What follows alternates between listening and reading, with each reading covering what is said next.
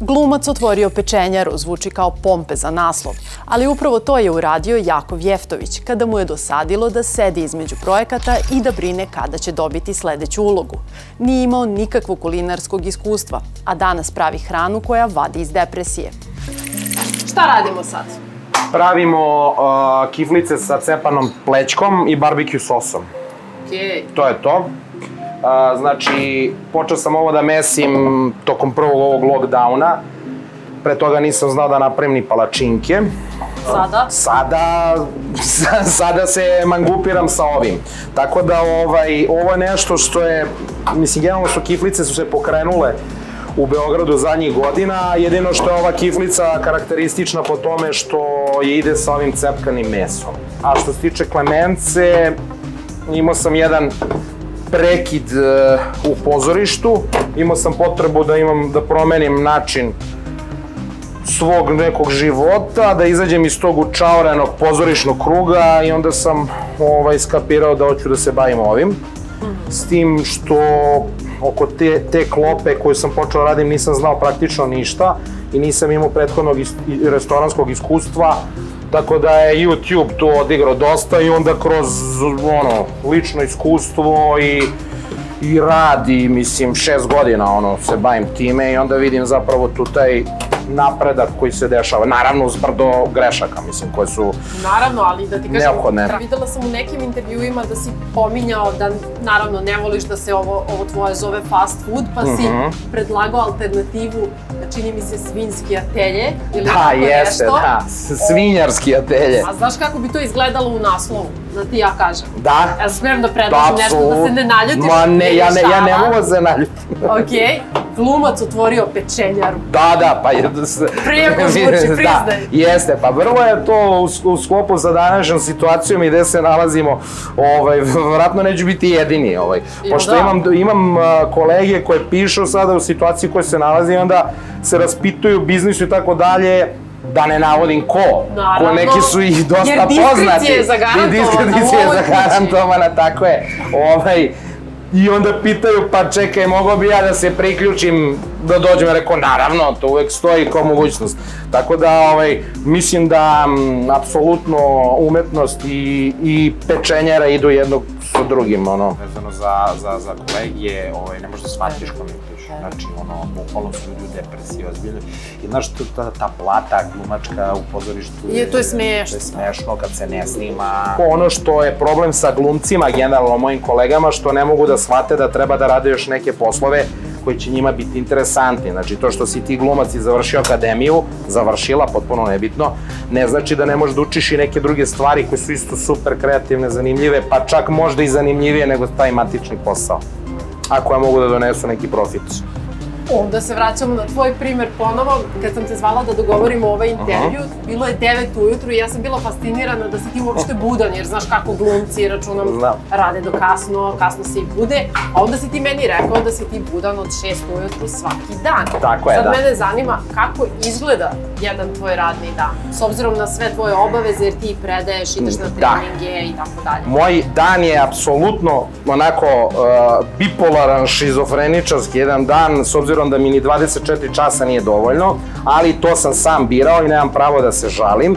Ja sad drugačije ne bi mogao ni da živim i ovaj dan mi počinje ujutro, znači prvo završavam sa klamencom ovde pripreme, vezano za testo, testo mora da naraste, stavljam meso da se peče, Posle toga uh, odlazim na trening uh, koji mi je jako bitan aspekt. Uh, tu treniram već 20 godina tajlandski boks, Muay Thai 011 i moj trener i prijatelj Srđan Bugarčić. Uh, trening je do recimo 10, vraćam se onda ovde uh, i nastavljamo pripremu za Klemencu. Uh, određenim danima kad je fakultet, odlazim posle na fakultet, a ovaj, posle me čekaju privatne ove, mislim, obaveze, a ako se dešava neko snimanje, onda ide, što kaže, pretumberacija celog rasporeda, ali mogu da stignem sve. U principu, gledam, trudim se da ukačim. To što se tiče ustajanja i neustajanja, iskreno ti kažem, ja realno stvarno ljude mogu da ocenim po tome i kad ustaju i kako su proveli svoj dan. Za mene je užasno bitno za nekoga kad, mislim možda nije u redu što procenjam ljude, ali mislim ne krijem i kažem to iskreno.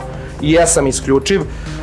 I po vremenu ustajanja i po tome koliko su efikasno proveli svoj dan. Znači, ta dnevna efektiva jako govori o tome ko je teoretičar, a ko je praktičar i mislim, ne, ne, nije samo tema o parama, nego tema je kompletno celom životu. Pa da. Ono, fun fact, ja sam ovaj posao dobila tako što sam pre toga radila na RTS-u jutarnjem programu mm -hmm. i mhm. ustajala svaki dan u četiri. E, pa da. I tu me upoznao jedan uh, dečko koji ima veze sa ovom sadašnjom firmom i rekao kao, wow, ti, preporučio me tim mm -hmm. rečima, kao, ona ustaje u četiri, njoj ništa nije teško, kao zaposlite nju. Tako je, pa upravo to. Da je u suštini ovaj si pokazalo tačni. Pa upravo je to. Ovo je sad besplatna reklama za tebe, ali neće to ići. neka, neka, neka, neka. A koliko su te kolege podržale što se tiče ovog tvog biznisa, da te malo izreklamiraju, e, da Ja nisam nešto... to nikome tražio i ni sa kim to, jako su me recimo neke dosta poznate kolege pitaju, pa čekaj čovječe, aj kao da snimemo, ne znam, ovo ono, Uh, ja sam uh, trenutno nisam u toj fazi zašto posmatram moj posao kao nešto što planiram da radim decenijama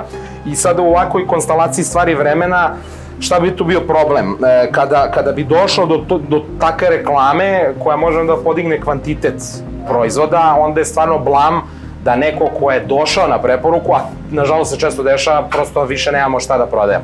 Jer nisam uspio da proizvedem, nisam uspio da ispečem i tako dalje. Koliko te ljudi prepoznaju uh, često na ulici tako to kao, kao glumca? S obzirom na to da uh, sve tvoje uloge su bile zapažene, ali mm -hmm. nisu uglavnom bile glavne nisu, i osjeće. Da. Pa evo, iskreno ću ti reći, najviše me, ostane mi nekako u nekom sećanju da me gledaju, da e, ne mogu da povežu da li se znamo privatno ili ne, ali najveća komedija je sa interventnom policijom. Zašto pa zato što, pa za, ne znam, uvek me zaustavljaju redovno, imam dugu tradiciju zaustavljanja strane interventne, ovaj, i onda oni kao redovna kontrola zaustavljame i očigledno su gledali, jer onda ne mogu da prevrte da li sam im poznat Iz sa poternice ili s nečega što je bilo na TV-u. Pa onda vrlo brzo nekako dođu do zaključka, aha, kao čime se baviš, levo, desno i to. I onda dođemo do zaključka. Tako da, mm, mm, ma ne znam, ja sebe uopšte ne doživljam, mislim kao neko, mislim, niti sam poznata ličnost, mislim, ono. Iskreno tako, tako gledam stvari, a verovatno ovako ljudi nekad se zbune, dođu kad kupuju ovde i onda, da, to je bilo, recimo, imao sam neku inspekciju, da, ovaj, i to je bilo, neka inspekcija rada je bila, i onda je žena me prepoznala i otprilike počela da nariče u fazonu, jao, pa kako, zašto ste vi tu? Propado ste! Pa da, da, bukvalno propado ste. Ja rekao, ne, u redu je, pa ja hoću to da radim, to je moje. Pa ne, ja, ja gledam i na gradilištima prepuno intelektualaca, ljudi sa fakultetskim diplomama. Rekao, ne, ne, ja sam vlasnik, ja sam hteo ja sam da vlasnik ove firme. Ja sam vlasnik ove firme, da sam da radim. A nekako ljudi ovde imaju tu e, priču kao kako je moguće se baviš ovim i ovim. Ima jedna super anegdota, verujem da je istinita, to mi je neko rekao na snimanju, Daniel Day-Lewis, glumac mm -hmm. Oskarovac, je sreo Radeta Šerbeđiju nešto nedavno, a Daniel Day-Lewis je inače čovjek bućar, on ima bućarsku radnju u Firenci. Stalno imate odlaske iz glume, vraća se nezadovoljene, ne znam, bandama Njujorka je napust, otprilike napustio premijeru i Sretne Radeta Šerbeđiju, negde krenuo oni razgovor kao kako ste, šta radite i to i kaže, e, pita ga Daniel kao šta radiš, kao pa ništa glumom se bavim to i, i Daniel mu rekao glumom, kako vas nije sramota. U smislu kako je moguće da se samo baviš glumom. E ja sad tu, nisi ne bi išao toliko daleko, ali meni je sasvim okej okay to da je sad sam na 220. Ostavljamo to, e,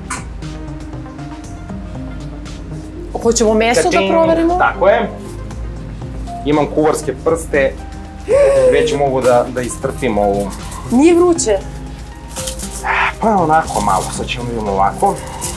Dakle, ovo je sada The Grand lutrija. Opening. Da, ovo je sada Premijera. lutrija, da vidimo samo koliko, da li je to skroz gotovo po načinu kako...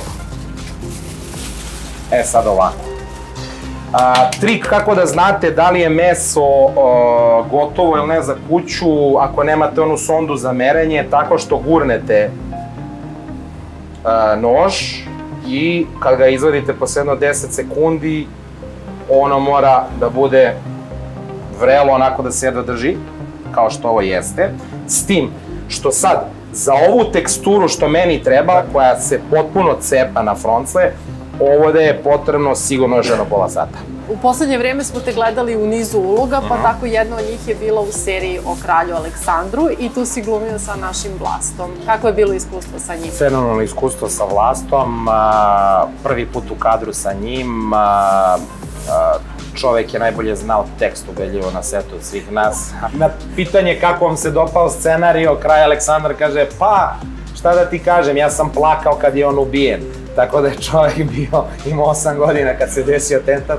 Kad gledam niz tvojih uloga, kako stoji spisak, ide otprilike kriminalac, robijaš, narkodiler, navijač, tako da zbog čega te stavljaju samo u te uloge? Da, dobro je, kad imam ime i prezime, to je već uspeh. to je već napredak.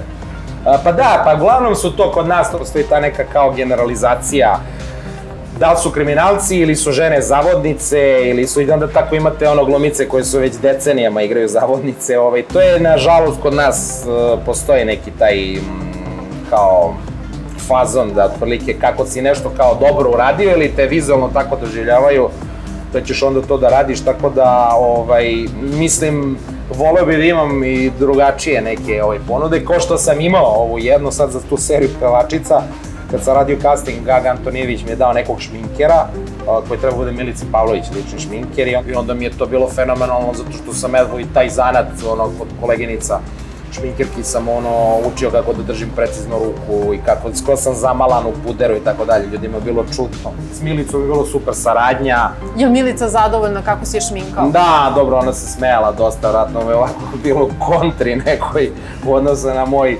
fizikus, ali smo napravili super odnos, tako da je to funkcionisalo već kako, kako trebalo. Možda to ima neke veze i sa tvojim tetovažama, koja je njihova simbolika?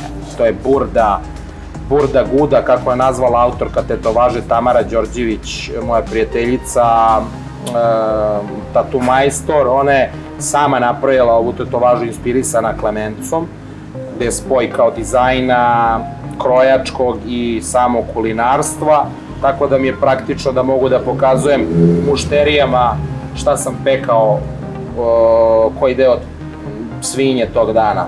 Dakle, imaju neko pitanje šta je, ja pokažem kao na mapi. Skoro si dobio ulogu u jednom indijskom projektu, šta nam možeš reći o tome? Tako je, to je Afaram 2. Uh, Afaram je zapravo serija i film, prvi put sam radio sa njima, to je neka zapravo platforma kao indijski Netflix. Indici dosta dolaze sada ovde da rade i snimaju, već dolaze godinama. Sviđa mi se zato što je bila akcijna uloga, uh, pošto radim i na fakultetu kao profesor svetskih borbi, tako da sam prvi put sad zvanično, posle 15 godina, u stvari nekad sam počeo se bavim, pa da, 16 godina karijere dobio baš namenski taj žanr. Imam jednu repliku za ne znam koliko, mislim, ti snimajući dana, što mi nije uopšte smetalo, tako da je sve u tom fizičkom pokretu i ovaj, kako sam čuo već u ovim nekim prvim montiranjima što su videli da izgleda baš, baš dobro. Ja moram da naglasim samo, Indici imaju te neke akcione filmove koji su onak izlazi iz realnosti, ono, uhvati lisu helikoptera, zavrti pa ga baci. Imaju te, to, te, da kažem, parodije momente, u stvari to njima nije parodija, to je njima nešto stvarno. Ovo je baš realan, onako, akcioni film sa realnim borbama, realnim situacijama. Kalkanski krugovi su isto serija koja je baš, baš bila gledana poslednjih dana. Šta misliš, hoće li biti druge sezone i da li će tvoj lik dobiti više prostora? Ma, moguće, to je sada uh, pre svega do produkcije, se čeka zapravo, ovaj, možeš, možeš slobodno, uđi slobodno, nisi u kadru. Stalna mušterija. Slobodno, evo napravit ti vi to. Očekujem informaciju o tome, a ako se bude nastavilo, verujem da hoće, da svakako onda Vuk ima dalje svoj neki razvoj priče zapravo šta se, šta se događa dalje. To je interesantna istorija. Delo mi da ima potencijal. Da delo je, da, i meni i ljudima koji su gledali, meni, ono što meni jako drago za tu seriju, što kad pričam s ljudima koji nisu iz tog sveta umetničkog, koji prate ovako ovaj, uh, i filmove i serije, da im je serija ostavila jak utisak, uh, posebno uvek ističan stvarno direktor fotografije uh, Duška Jovanovića koji je to tako snimio, uradio i predstavio vizualno ono što mi imamo prelepu zemlju i, i jednostavno napravio levak svih tih stvari i ubacio kadar. Ako ste propustili neke viralne priče, možete ih uvek pogledati na YouTube kanalu Mondo Portala. Čekamo vaše komentare, predloge i kritike. Pišite nam na viral.mondo.rs. Doviđenja!